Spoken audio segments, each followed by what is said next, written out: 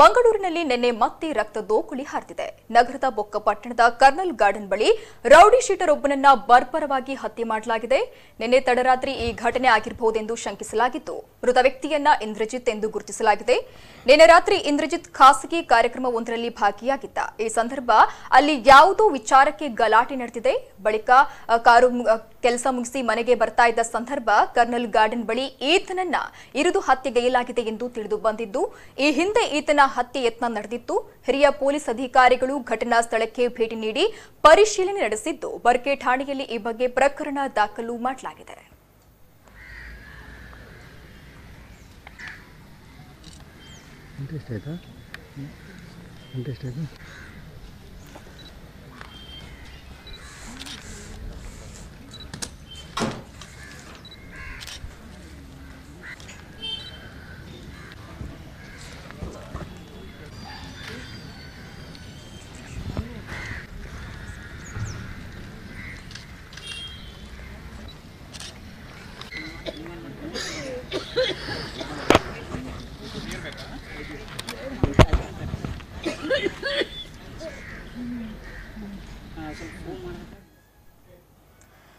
S ಈ ಬಗ್ಗೆ news ಡೆಸ್ಕ್ನಿಂದ ಹೆಚ್ಚಿನ ಮಾಹಿತಿಯನ್ನ ಕೊಡ್ತಾರೆ ಚಂದ್ರಶೇಖರ್. ಏನಿದು? ಮಂಗಳೂರಲ್ಲಿ ಪದೇ ಪದೇ ಕ್ರಿಮಿನಲ್ ಕೇಸ್ಗಳು ಆಗ್ತಾ ಇರುವಂತ ಚಂದ್ರಶೇಖರ್. ಇದೀಗ ಮಂಗಳೂರಿನ ಬೊಕ್ಕಪಟ್ಟಣದ ಕರ್ನಲ್ ಗಾರ್ಡನ್ನಲ್ಲಿ ರೌಡಿ ಶೀಟರ್ ಅನ್ನ ಬರ್ಬರ ಬರ್ಬರವಾಗಿ ಹತ್ಯೆ ಮಾಡಲಾಗಿದೆ.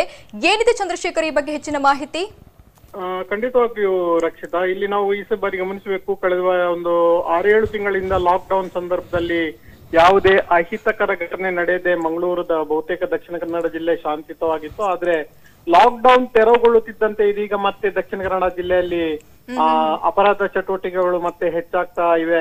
ಇದೀಗ ಬೊಕ್ಕಪಟ್ಟಣದಲ್ಲಿ ರೌಡಿ ಶೀಟರೊಬ್ಬನನ್ನ ನಿನ್ನೆ ರಾತ್ರಿ ಬಹುತೇಕ ಮುಂಜಾನೆ ವೇಳೆಗೆ ಆ ಕುದ್ರೋಳಿ ಸಮೀಪದ ಕರ್ನಲ್ ಗಾರ್ಡನ್ ಬಳಿ ಇರುವಂತಹ ಬೊಕ್ಕಪ್ಪ ಒಂದು ಹತ್ಯೆ ಮಾಡಲಾಗಿದೆ ಅನ್ನೋದು ಖಚಿತವಾಗಿದೆ. ಬೊಕ್ಕಪಟ್ಟಣ ನಿವಾಸಿ ಇಂದ್ರಜಿತ್ ಇವರನ್ನ ಆ ಇವರು ರೌಡಿ ಶೀಟರ್ ಏನಾಗಿದ್ರು ಹಲವು ಕ್ರಿಮಿನಲ್ ಕೃತ್ಯಗಳಲ್ಲಿ ಕೂಡ ಭಾಗವಹಿಸಿದ್ರು.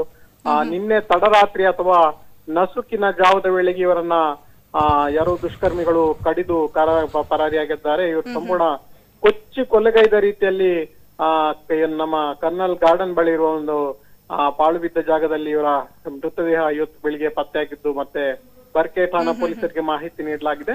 ಆ ಇವರನ್ನ ಇಂದ್ರಜಿತ್ ನಲವತ್ತೈದರ ಹರೆಯದ ಇಂದ್ರಜಿತ್ ಅನ್ನ ಬೊಕ್ಕಪಟ್ಟಣ ನಿವಾಸಿ ಇಂದ್ರಜಿತ್ ಅಂತ ಗುರುತಿಸಲಾಗಿದೆ. ಸದ್ಯ ಸ್ಥಳಕ್ಕೆ ಬರ್ಕೆ ಪೊಲೀಸರು ಭೇಟಿ ನೀಡಿ ಪರಿಶೀಲನೆಯನ್ನ ನಡೆಸಿದ್ದಾರೆ. ಆ, ಮುಖ್ಯವಾಗಿ ನಾವು ಗಮನಿಸಬೇಕು, ಆ, ಇವರು ನಿನ್ನೆ ತಡರಾತ್ರಿ ಏನೋ ಇವರು ಒಂದು ಮೆಹಂದಿ ಕಾರ್ಯಕ್ರಮದಲ್ಲಿ ಭಾಗವಹಿಸಿದ್ರು. ಅಲ್ಲಿ ಸ್ವಲ್ಪ ಮದ್ಯಪಾನ ಎಲ್ಲ ಮಾಡಿ ಸ್ನೇಹಿತರ ಜೊತೆ ಜಗಳ ಮಾಡಿ ಬಂದಿದ್ರು. ಆ ಜಗಳ, ಜಗಳದ ಮುಂದುವರಿದ ಭಾಗವಾಗಿ ಇವರನ್ನ ಹಿಂಬಾಲಿಸಿಕೊಂಡು ಬಂದಂತಹ ದುಷ್ಕರ್ಮಿಗಳು ಇವರನ್ನ, ಆ, ಇರಿದು ಪರಾರಿಯಾಗಿರುವ ಸಾಧ್ಯತೆಗಳು ದಟ್ಟವಾಗಿದೆ ಅಂತ ಹೇಳಿ ಪೊಲೀಸ್ ಮೂಲಗಳಿಂದ ಮಾಹಿತಿ ಬಂದಿರುವಂತದ್ದು ರಕ್ಷಿತಾ. ಎಸ್ ಇನ್ನು ನಗರದಲ್ಲಿ ನಡೀತಾ ಇರುವ ಕ್ರಿಮಿನಲ್ ಕೃತ್ಯಗಳಿಗೆ ಕಡಿವಾಣ ಹಾಕುವ ನಿಟ್ಟಿನಲ್ಲಿ ಮುಂದಿನ ದಿನಗಳಲ್ಲಿ ಪೊಲೀಸರು ಯಾವ ರೀತಿಯಾದಂತಹ ಕ್ರಮಗಳನ್ನ ಕೈಗೊಳ್ಳಬಹುದು ಅಂತ? ಆ ಖಂಡಿತವಾಗ್ಲಿಯೂ ಯಾಕಂದ್ರೆ ಈಗಾಗಲೇ ಕ್ರಿಮಿನಲ್ ಕೃತ್ಯಗಳು ಹೆಚ್ಚಾಗ್ತಾ ಇರುವ ನಿಟ್ಟಿನಲ್ಲಿ ಆ ಗೃಹ ಸಚಿವರು ಕೂಡ ಈಗಾಗಲೇ ಆದೇಶವನ್ನು ನೀಡಿದ್ದಾರೆ. ಅಲ್ಲದೆ ದಕ್ಷಿಣ ಕನ್ನಡ ಜಿಲ್ಲೆಯಲ್ಲಿ ಆ ಮತ್ತೆ ಬಂಟ್ವಾಳದಲ್ಲಿ ಮೊನ್ನೇನು ಎರಡು ಮೂರು ಇರಿತದ ರೌಡಿ ಶೀಟರ್ಗಳ ಹತ್ಯೆ ಪ್ರಕರಣ ನಡೆದಿತ್ತು. ಆಮೇಲೆ ಪೊಲೀಸರು ವಶಪಡಿಸಿಕೊಳ್ಳಲು ಹೋಗುತ್ತಿರುವ ಸಂದರ್ಭದಲ್ಲಿ ಪೊಲೀಸರ ಮೇಲೆ ಕೂಡ ಅಟ್ಯಾಕ್ ಆಗಿ ಪೊಲೀಸರು ಕೂಡ ಗಾಯಗೊಂಡ ಸಂದರ್ಭದಲ್ಲಿ ಇಂತಹ ಕ್ರಿಮಿನಲ್ಗಳ ವಿರುದ್ಧ ಕಠಿಣ ಕಾನೂನು ಕ್ರಮ ಕೈಗೊಳ್ಳಬೇಕಂತ ಹೇಳಿ ಆ, ಗೃಹ ಸಚಿವರು ಮತ್ತು ಜಿಲ್ಲಾ ಉಸ್ತುವಾರಿ ಸಚಿವರು ಕೂಡ ಆದೇಶವನ್ನ ನೀಡಿದರನ್ನ ನೀಡಿರುವುದನ್ನ ನಾವು ಈ ಸಂದರ್ಭದಲ್ಲಿ ನೆನಪಿಸಿಕೊಳ್ಳುವುದು. ಹಾಗಾಗಿ ಪೊಲೀಸರು ಖಂಡಿತವಾಗಿಯೂ ಆ ಕಾನೂನು ಕ್ರಮ ಕೈಗೊಳ್ಳಬೇಕಾದ ಒತ್ತಡಕ್ಕೆ ಸಿಲುಕಿದ್ದಾರೆ. ಯಾಕಂತ ಹೇಳಿದ್ರೆ ಇಂತಹ ಘಟನೆಗಳು ಹೆಚ್ಚಾಗ್ತಿದ್ದಂತೆ ಜನಸಾಮಾನ್ಯರಲ್ಲಿ ಮತ್ತೆ ಭೀತಿಯ ವಾತಾವರಣ ಸೃಷ್ಟಿಯಾಗುವುದು ಸಹಜ. ಹಾಗಾಗಿ ಆ ಈ- ಕ್ರಿಮಿನಲ್ ಚಟುವಟಿಕೆಗಳೇನಿವೆ ಇದಕ್ಕೆ ಮಟ್ಟ ಹಾಕುವ ಕೆಲಸವನ್ನು ಆ, ದಿಟ್ಟವಾಗಿಯೂ ಪೊಲೀಸರು ನಿರ್ವಹಿಸಲೇಬೇಕಾಗ್ತದೆ. ಅವರು ನಿರ್ವಹಿಸ್ತಾರೆ ಅನ್ನುವ ನಂಬಿಕೆ ಮಂಗಳೂರಿನ ಜನತೆಗಿದೆ ರಕ್ಷಿತಾ. ಇನ್ನೊಂದು ವಿಚಾರ ಚಂದ್ರಶೇಖರ್. ಇನ್ನು ಲಾಕ್ಡೌನ್ ಆದ ಬಳಿಕ ಇಂತಹ ಪ್ರಕರಣಗಳು ಅಂದ್ರೆ ರೌಡಿ ಶೀಟರ್ ಮೇಲೆ ಹಲ್ಲೆ ಆಗುವಂತದ್ದು ಅಥವಾ ಮಾರಾಮಾರಿ ನಡೆದು ರೌಡಿ ಶೀಟರೇ ಖಲಾಸ ಆಗುವಂತದ್ದು ಇಂತಹ ಪ್ರಕರಣಗಳು ಎಲ್ಲೋ ಒಂದು ಕಡೆ ಹೆಚ್ಚಾಗಿ ಕಂಡು ಬರ್ತಾ ಇದೆ ಅಂತ ಅನಿಸ್ತಾ ಇಲ್ವಾ? ಖಂಡಿತವಾಗಿಯೂ ಯಾಕಂದ್ರೆ ಹೇಳಿದ್ರೆ ಲಾಕ್ಡೌನ್ ಸಂದರ್ಭದಲ್ಲಿ ಸಂಪೂರ್ಣ ಹತೋಟಿಗೆ ಬಂದಂತ ಅಂದ್ರೆ ಒಂದೇ ಒಂದು ಪ್ರಕರಣಗಳು ಯಾವುದು ದಾಖಲಾಗಿರ್ಲಿಲ್ಲ. ಆ ಸಂದರ್ಭದಲ್ಲಿ ಪೊಲೀಸರು ಬಂದೋಬಸ್ತ್ನಲ್ಲಿ ತೊಡಗಿಸಿಕೊಳ್ಳುವಂತ ಅನಿವಾರ್ಯತೆ ಏನಿರಲಿಲ್ಲ ಕ್ರಿಮಿನಲ್ ಚಟುವಟಿಕೆಗಳು ಕಡಿಮೆ ಆಗಿದ್ದವು. ಆ ಎಲ್ಲಾ ಕಡೆ ಕೊರೋನಾದ ಭೀತಿ ಇದ್ದ ಕಾರಣದಲ್ಲಿ ಕಾರಣದಿಂದಾಗಿ ಓಡಾಟ ಕೂಡ ಕಡಿಮೆ ಆಗಿತ್ತು. ಆ ಕಾರ್ಯಕ್ರಮಗಳಾಗ್ಲಿ ಯಾವ ಮದುವೆ ಸಮಾರಂಭಗಳಾಗ್ಲಿ ಯಾವ್ದು ನಡೀತಾ ಇರ್ಲಿಲ್ಲ. ಅಂದ್ರೆ ಮದ್ಯಪಾನಕ್ಕೂ ಕೂಡ ಒಂದು ಕಡಿವಾಣ ಹಾಕಿದ ಹಿನ್ನೆಲೆಯಲ್ಲಿ ಆ ಇಂತಹ ಕ್ರಿಮಿನಲ್ ಕೃತ್ಯಗಳು ಏನು ತುಂಬಾ ಕಡಿಮೆ ಆಗಿತ್ತು ಆದ್ರೆ ಇದೀಗ ಮತ್ತೆ ಸಭೆ ಸಮಾರಂಭಗಳು ಜನಜಾತ್ರೆ ಜಂಗುಳಿಸಿ ಇರುವಂತದ್ದು ಇದೀಗ ಮತ್ತೆ ಹೆಚ್ಚಾಗ್ತಾ ಇರುವ ಹಿನ್ನೆಲೆಯಲ್ಲಿ ಆ ಕ್ರಿಮಿನಲ್ ಚಟುವಟಿಕೆಗಳು ಸಹಜವಾಗಿ ಹೆಚ್ಚಾಗ್ತಾ ಇದೆ. ಹೀಗಾಗಿ ಇದೀಗ ಮತ್ತೆ ಪೊಲೀಸರು ತಮ್ಮ ಕಾನೂನನ್ನ ಬಲಪಡಿಸಿಕೊಂಡು ಇಂತಹ ಆರೋಪಿಗಳನ್ನ ಮಟ್ಟ ಹಾಕ್ಲೇಬೇಕಾಗಿದೆ. ಎಸ್ ಥ್ಯಾಂಕ್ ಯು ಚಂದ್ರಶೇಖರ್ ನಿಮ್ಮೆಲ್ಲ ಮಾಹಿತಿಗಾಗಿ.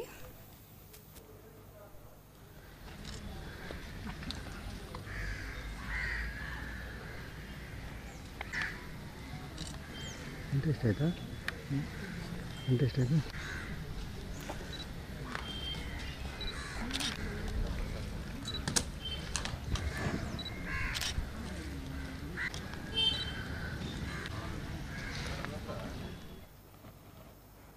ಮೀನು ಫ್ರೈ ಮಂತೊಂದಿತ್ತೆ ಮಗ ಪಂಡೆ ಯಾನ್ ಜ್ಯೂಸ್ ತೀರಿ ಟೇಬಲ್ಡು ಇವ್ರು ಕೂಲಿ ಬೇನ ಕೂಲಿ ಬೇನ ಅನ್ಪರ ಇದ್ದ ಜ್ಯೂಸ್ ತೈ ಪರ್ಪುನಿ ಅನ್ ಪಂಡೆ ಐ ಕುಪ್ಪಾಟ ಮೆಂಗ್ ಜ್ಯೂಸ್ ಪರ್ದೆ ಜುಪ್ಪು ಅನ್ ಜ್ಯೂಸ್ ಪರ್ ಜುಪ್ಪು ಅನ್ ಮಂಡೆ ಐಕ್ ಬೊರ್ಚಿರು ಉನ್ಲೆ ಜ್ಯೂಸ್ ಪರಚ್ಚಿ ಅನ್ ಐಕೆ ಯಾಂದದ ಮಲ್ತೆ ಬಕೆ ಕೂಲಿ ಬೇನ ಜೋರಿತ್ತು ನತೆ ಐಕ ಅವು ಸ್ವೀಟ್ ಅತೆ ಜ್ಯೂಸು ಐಕ್ ಬೊರ್ಚು ಒಂದು ಅಲ್ಪನೆ ಟೇಬಲ್ ಇತ್ತೆ ಇಲ್ಲಡೆ ಉಂಡಿತ್ತೆ ಅಲ್ಲ ಜ್ಯೂಸ್ ಪರ್ತಜಿ ಅನ್ರತೆ ಆಯ್ ಆಯ್ ಇಜ್ಜಿ ಆನ್ ಕೆಲಸ ಮಲ್ತದ ಆಯನ್ ಸಾಂಕು ಆಜಿ ವರ್ಷ ಅಂಡ್ ಆ ಇಲ್ಲಡ್ ಕುಲ್ದು ಆಯ್ ಸಿ ಆರ್ ಕಂಪನಿಗೆ ಪೋಂದಿತ್ತೀನಿ ಕೆಲಸ ಬೈ ಕಂಪಾಡಿ ಅವು ಸೂರತ್ ಬೊಂಬೈ